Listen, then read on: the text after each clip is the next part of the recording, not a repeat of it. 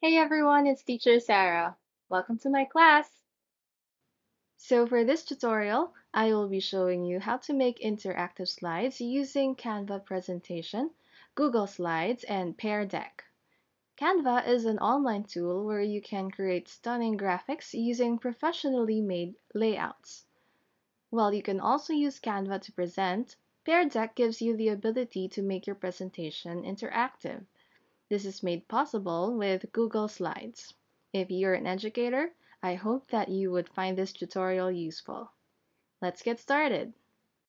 You want to start by opening the presentation that you want to move into Google Slides. So here we are, we have our file um, open in Canva and you want to start by clicking on this drop down beside present. Okay, so over here you'll find Microsoft PowerPoint and this is the one that you need so that you can transfer it to Google Slides. So go ahead and click that and it will show this dialog uh, that you want to select or deselect certain pages. If you want to select all of the pages, go ahead and do that and then click download. As soon as your design has been downloaded, then you can upload it now on Google Slides. So as you can see, I've already made my art class orientation slides, but uh, for the sake of demonstration, I'll show you how to make one. Uh, right click on this page and click Google Slides. Okay, so uh, this prompt is asking you if you want to create a Google slide in this folder. You just have to cl click create and share. All right, so now you have your blank presentation.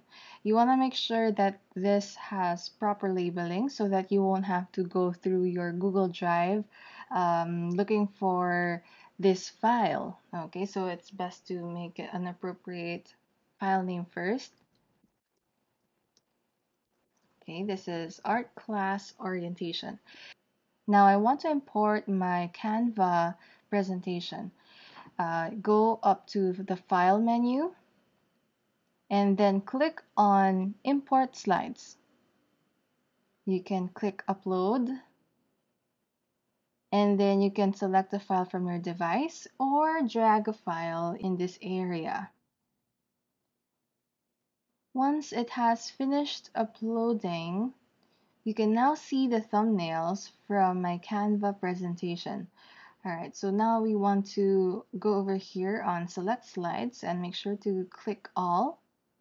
You can also deselect some of the slides by clicking the thumbnail, okay, but um, you want to make sure that you have all the design templates inside the, the presentation.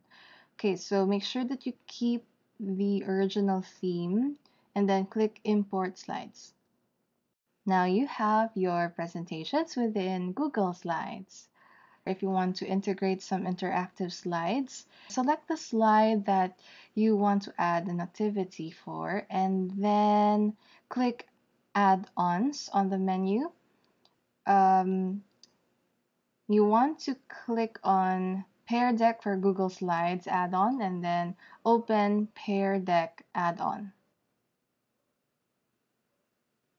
There you have it. So this is where you can add uh, activities that you want to integrate within your slides. So for this example, since I want them to draw, I will add this type of activity. And that's how you make an interactive Google slide. For our teachers out there, I hope you find this tutorial useful for your virtual classes. If you have any questions, please leave a comment. If you would like to see more tutorials like this, please subscribe to my channel. See you in my next class!